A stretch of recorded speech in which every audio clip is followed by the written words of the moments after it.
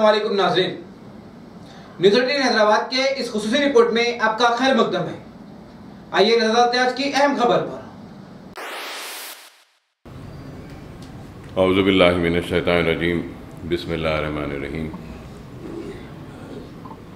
नक़ीब मिलत बैरिस्टर असदुद्दीन ओवैसी साहब, सदर कुल हिंद मजलिस इत्तेहादुलमुस्लिमीन मौजूद रुकन पार्लियामेंट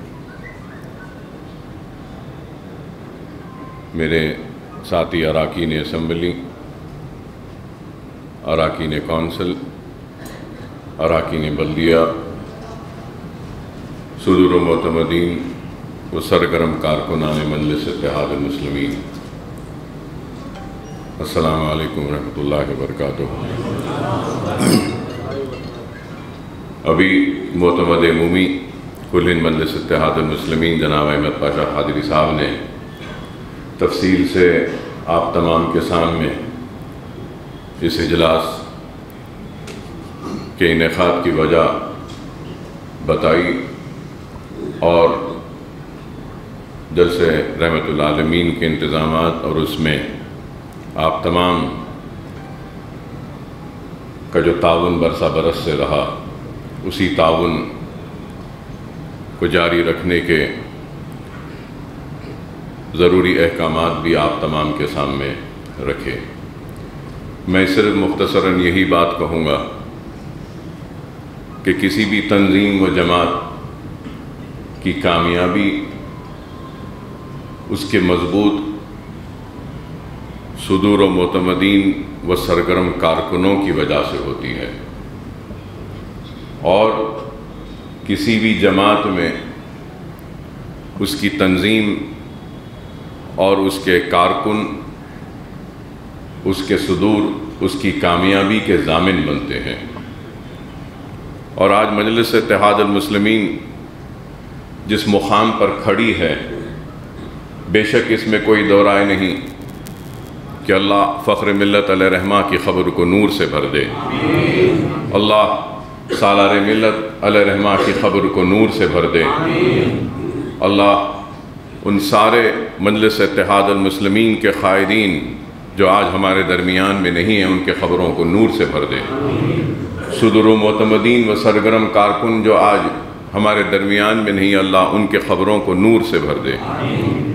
इन सब की मेहनत, कोशिश, काविश व दूरंदेशी और क़ुरबानियों का नतीजा है कि मजलिस इतिहादमसलमिन आज इस मुकाम पर खड़ी है।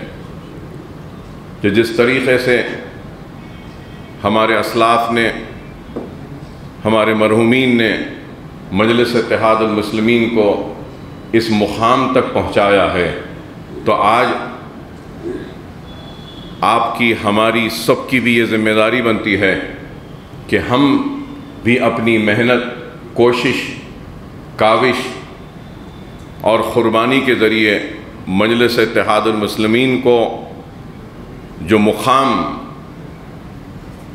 हासिल हुआ है, इस मुकाम पर न सिर्फ़ कायम रहें, बल्कि इस मुकाम से और ऊँचा और आगे बढ़कर हमको अपनी खिदमत के ज़रिए, अपने काम के ज़रिए जमात को पहुंचाना है। और ये बात मैं फिर से कह रहा हूँ कि तंजीम और सदर मतमदीन की बहुत बड़ी ज़िम्मेदारी होती है और अगर मुझसे अगर पूछेंगे तो मैं ये कहूँगा कि मेरी नज़र में एक एमएलए और एक कॉरपोरेटर से भी अगर कोई बड़ा है तो वो मेरे इब्तदाई का सदर है, वो मेरे इब्तदाई का मोतमद है, वो मेरा सरगर्म कारकुन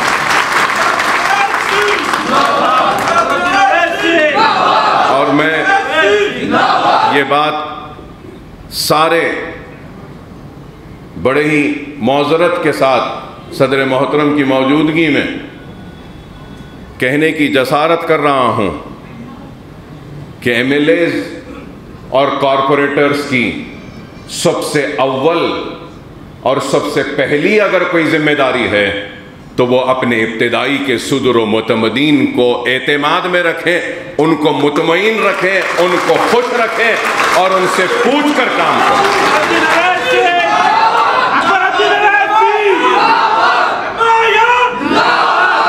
जमात जितनी फैल रही है, अल्लाह इसको और फैलाए। लेकिन जमात के फैलने के साथ साथ जमात का इस्तेकाम उसके इब्तदाई सदर मतमदीन व सरगरम कारकुन ही होते हैं। तो हमको इस इस्तेकाम को मज़बूत करना होगा। और कॉरपोरेटर साहिबान से कहूँगा कि इब्तदाइयों की अहमियत को समझिए, इब्तदाई के सुदूर की अहमियत को समझिए। इब्तदाई के मोतमद की अहमियत को समझिए। इब्तदाई के सरगरम कारकुनों की अहमियत को समझिए। अगर वो इब्तदाइयों को उसका मुकाम न दे, देंगे, उसको इज़्ज़त न देंगे और उनको एतमाद में नहीं रखेंगे तो मैं समझता हूँ कि वह अवामी नुमाइंदा आवाम को भी एतमाद में नहीं रख सकेगा। अगर आवाम के एतमाद को क़ायम रखना है तो सबसे पहले अपने इब्तदाई को अपने एतमाद में रखो। और आज हमको आगे बढ़कर काम करना है। इल्ज़ाम तो हर दौर में लगते रहे हैं और आज भी लग रहे हैं। हम इल्ज़ाम की परवाह किए बगैर काम करते हैं और काम हमारा पहचान बनता हुआ आगे बढ़कर चीख कर, चिल्ला कर ये कह रहा है कि हाँ मजलस इतिहादमसलमिन काम करती है। और अब लोग बोलेंगे कि क्या काम है? तो काम है हमारा। बता दो कि हिंदुस्तान में कौन सी जमात है जिसका इतना बड़ा दफ्तर है दारुसलाम की तरह जो हमारा अपना है? ये दारुसलाम को हासिल किया, ये मजलिस का कारनामा है। दारुसलाम के अहाते में सिर्फ़ हमारे इतिहाद का मरकज नहीं, बल्कि तालीमी इदारों का एक जाल बिछाकर एक तालीम का मरकज बना दिया। ये भी हमारा काम है। अगर पूछते हैं कि मजलस का काम क्या है तो मजलस इतिहादमसलमिन ने दवाखानों के ज़रिए, तालीमी इदारों के ज़रिए काम किया। तो मजलस इतिहादमसलमिन ने तरक्याती सरगर्मियों में भी काम किया। आज अगर ज़मीनात की कीमतें बढ़ रही हैं तो हमारे काम की वजह से डेवलपमेंट आने की वजह से काम हो रहा है। हाँ इसमें कोई शक नहीं कि बहुत से काम करने हैं। हम ये हरगिज ख़तई दावा नहीं करेंगे कि हमने सारे काम किए हैं, लेकिन हमने बहुत काम किया है। अभी बहुत काम करना बाकी है। और करेंगे ज़रूर काम। लेकिन इल्ज़ाम लगाने वाले सिर्फ़ इल्ज़ाम लगाते हैं। आज मजलस इतिहादमसलमिन बुनियादी तालीम से लेकर प्रोफेशनल कोर्सेस की तालीम तक मजलस इतिहादमसलमिन काम कर रही है। मरहूम सदर सालार मिलत रहमा के नाम से सालार मिलत एजुकेशन ट्रस्ट बनाया मैंने और अपने ज़ाती सरफे से तालीमी इदारों का एक जाल बिछाने की कोशिश कर रहे हैं और कई स्कूल हैं, हज़ारों बच्चों को उसमें मुफ़्त तालीम का इंतज़ाम, ख़वातीन को हम वोकेशनल ट्रेनिंग दे रहे हैं। और अब आगे भी इरादा है कि सालार मिलत रहमा के नाम से कायम उस ट्रस्ट की एक इमारत जो मुकम्मल हो चुकी है मुगलपुरे में, वहाँ पे कॉम्पिटिटिव एग्ज़ाम्स की ट्रेनिंग का एक मरकज़ कायम किया जाएगा। जहाँ पे हम एम सेट की निट की आई सेट की I A S P S I R S civil services की ग्रुप वन ग्रुप टू की और उसके बाद फिर लॉ सेट की। और दूसरे जो भी कॉम्पिटेटिव एग्ज़ाम्स है वो, और फिर उसके साथ साथ जॉब प्लेसमेंट गाइडेंस सेल भी बनाएँगे कैरियर गाइडेंस सेल भी बनाएँगे कि किस तरीके से अपने मुस्तबिल को गाइड कर सकें, उनको रहनुमाई कर सकें, वो भी एक शोबा हम वहाँ पे क़ायम करने जा रहे हैं। तो आज जो लोग हमसे सवाल करते हैं कि हमने क्या किया है, मैं उनसे सवाल करना चाहता हूँ कि तुमने अपनी जेब से खाम और मिल्लत को और मुसलमानों को कभी कुछ दिया है? कुछ नहीं दिया, कुछ नहीं किया, लेकिन आज हमने किया है। अरे देखने वालों, और मैं यहाँ मौजूद सुदर मतमदीन से दरख्वास्त करूँगा कि कभी अगर फुर्सत मिले तो जाओ, जाके बल्ला गुड़े के उस K G to P G campus को देखो उसकी बुलंद इमारत को देखो और उससे पता चलेगा कि हमारे इरादे कितने बुलंद है, हमारा ख्वाब कितना ऊँचा है और किस तरीके से हम हकीकत, ख्वाब को हकीकत में तब्दील करते हैं। कौड़ा रुपये की इमारतें आज खड़ी हैं। बेशक ये मैं अपनी ज़ात से बनाया हूँ, अपनी आखिरत का सौदा समझ के किया हूँ, लेकिन इस हकीकत से कोई इनकार नहीं कर सकता। कि मजलिस इतिहाद मुस्लिमीन का तुफैल है। मेरे मरहूम सदर, मेरे बाप के जूतियों का सदका है। और मेरी सदर की एतमाद और जमात की वजह से ये एक अदना सा मजलिस का सिपाही कुछ काम करने का अहल बना, काबिल बना और बेशक ये मेरी ज़ात का है, लेकिन मेरी ज़ात तो जमात की है तो ये मेरे इदारे भी जमात के हैं, ये सारे भी जमात की कामयाबी की निशानियाँ हैं, मेरी ज़ात की कामयाबी की बता दो मैं पूछना चाहता हूँ, मंजलस क्या करी पूछने वालों, बता दो, कौन सी ऐसी जमात का कोई लीडर है जो इतने तालीमी इदारे कायम किया, जितने मंजलस मुस्लिमीन ने किया है। यही सबसे बड़ा चैलेंज है। अरे एक इमारत बना दो, उसके बाद आकर हमसे सवाल करो तो तुम्हारे सवाल को मैं कबूल करने तैयार हूँ। करते तो कुछ नहीं है, लेकिन मंजलस पर इल्ज़ाम। आप तमाम से मैं यही कहूँगा कि इल्ज़ामों की परवाह ना करें आवाम की खिदमत करिए। आवाम के दरमियान में रहिए। छोटे छोटे मसाइल के लिए आवाम के दरमियान में रहिए कारकुनों से कहूँगा कि आवाम के दरमियान में रहिए खुदारा, आवाम को परेशान न करो, आवाम की परेशानी को दूर करो। आवाम के दरमियान में रह के दूर करो। जमात में अगर आए हैं तो अपनी जात के लिए नहीं आए हैं। जमात में अगर आए हैं तो यह समझ लो कि अपनी आखरत के लिए आए हैं और अल्लाह को राज़ी करने के लिए जमात में आए हैं, अपने घर को बनाने के लिए नहीं आए अगर सरमाएदार बनना है, पैसा कमाना है तो कहीं और जाओ, कुछ भी कर लो। आखिरत कमाना है तो आओ जमात के साथ मिलकर, हमारे साथ मिलकर काम करो, यह आखिरत का सौदा है। दुनिया तो मिल जाएगी।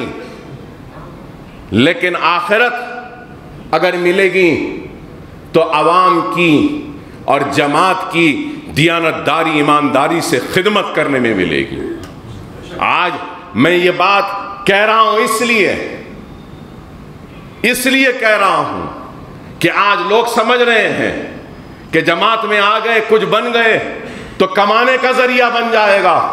नहीं यह आखिरत कमाने का मरकज है। दुनिया कमाने का नहीं है, लेकिन दुनिया कमाने की नीयत से आएँगे तो याद रखो, ना ही दुनिया मिलेगी तुमको, ना ही आखिरत मिलेगी।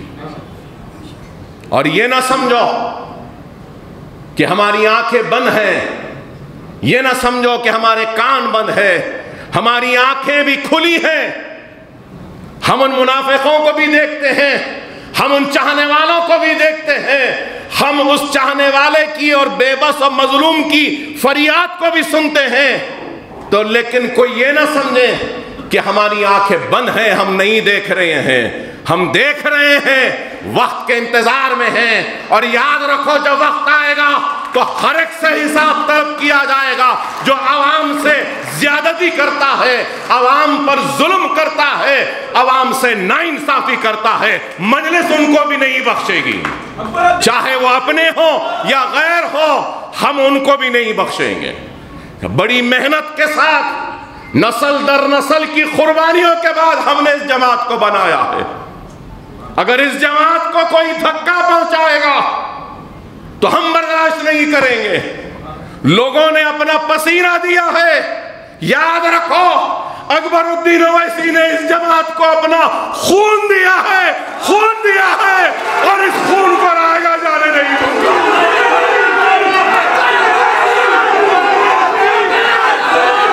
ये जमात जितनी यहाँ बैठने वाले की है जमात उतनी ही मेरी है मैं ना कभी खायद था, ना कभी खायद बनूँगा, ना खायद बनने की ख्वाहिश है। मैं जमात का सिपाही था, सिपाही हूँ और सिपाही रहूँगा। सिपाही बन के हालात का मुकाबला करूँगा।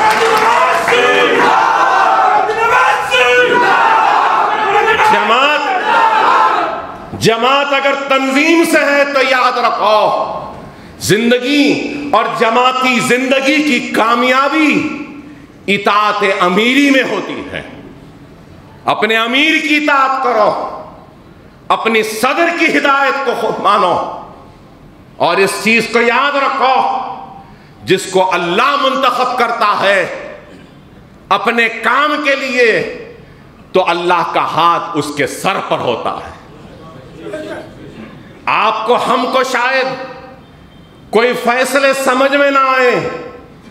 लेकिन याद रखो, उस ना समझ आने वाले फैसलों पर भी अल्लाह का हाथ होता है और अल्लाह उन फैसलों में बरकत देता है।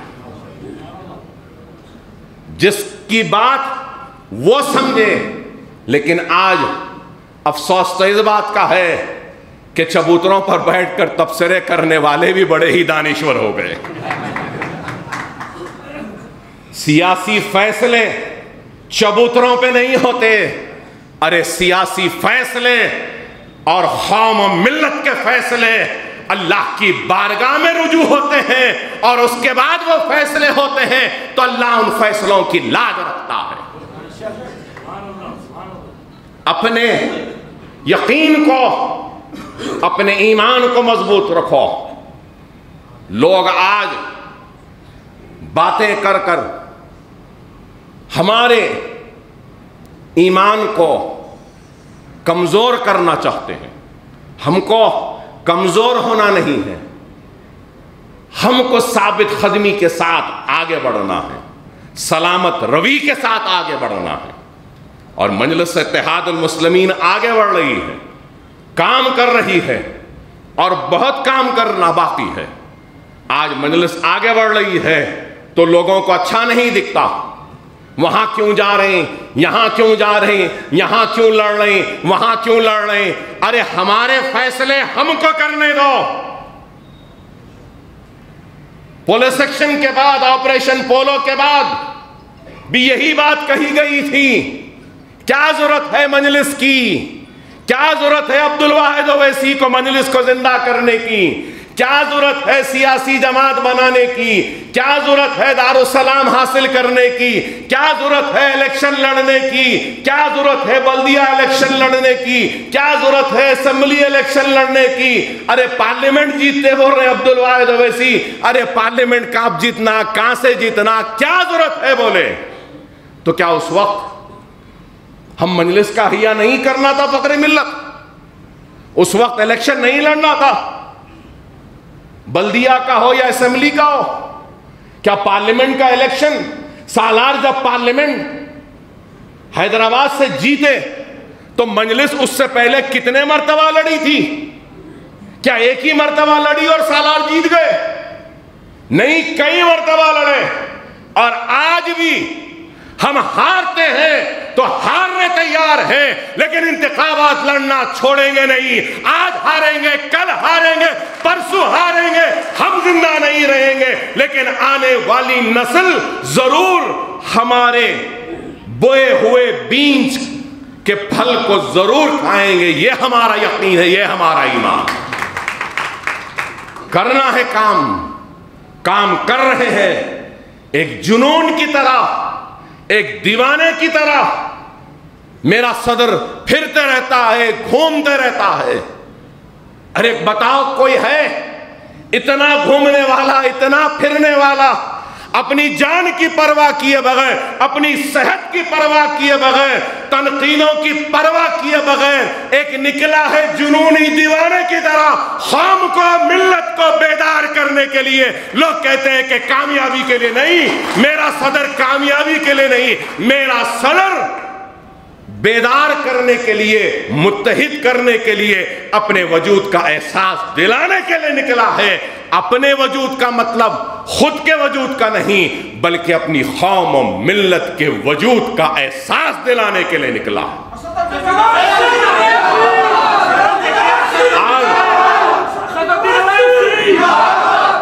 अगर हमारा सदर अगर फिर रहा है घूम रहा है तो मेरे इब्तदाइयों के सुदर मतमदीन से कहता हूँ, जब हमारा सदर इतना घूमता है, फिरता है तो हमारे इब्तदाइयों के सुदूरों को भी अपने महल्ले में, अपने हलके में उससे ज़्यादा घूमना पड़ेगा। उससे ज़्यादा आवाम से रत में रहना पड़ेगा। और मैं कॉरपोरेटर साहिबान से कहूँगा कि सुदूर मतमदीन पर तवज्जो दें। उनके लाए गए मसाइल को सबसे पहले हल करें। उनके बोले गए मुतालबात। आवाम की तकलीफ़ को सबसे पहले सुनना यह आपकी ज़िम्मेदारी। ज़िम्मेदारी है, मंजलिस काम कर रही है, चाहे वो कोविड का हो वक्त हो, आपने देखा कि कैसा काम किया। तूफ़ान व फ्लड्स का वक्त आया तो उस वक्त भी हमने कैसा काम किया, आपने देखा। फ्लड्स में भी गैर मामूली काम, मेडिकल कैंप्स कितने मेडिकल कैंप्स हुए? आवाम की याददाश्त बड़ी छोटी और कमज़ोर है। कितने मेडिकल कैंप्स? हज़ारों लोगों को अद्वियात तकसीम हुई। डॉक्टर्स देखे, फ्लड में हमने काम किया। कोविड में कैसा काम? अरे फ्लड और कोविड को अगर ले लें तो 12 करोड़ रुपया तो हमने सालानी मिलत एजुकेशन ट्रस्ट के नाम से हमने खर्च किया है आवाम में। बता दो क्या किसी ने किया? फ़र्स्ट वेव हो, सेकेंड वेव हो, हमने काम किया। खुदा ना खास्ता, अगर तीसरी कोविड की लहर भी आती है, उसमें भी मजलस इतिहाद मुस्लिम सबसे आगे रहकर काम करेगी।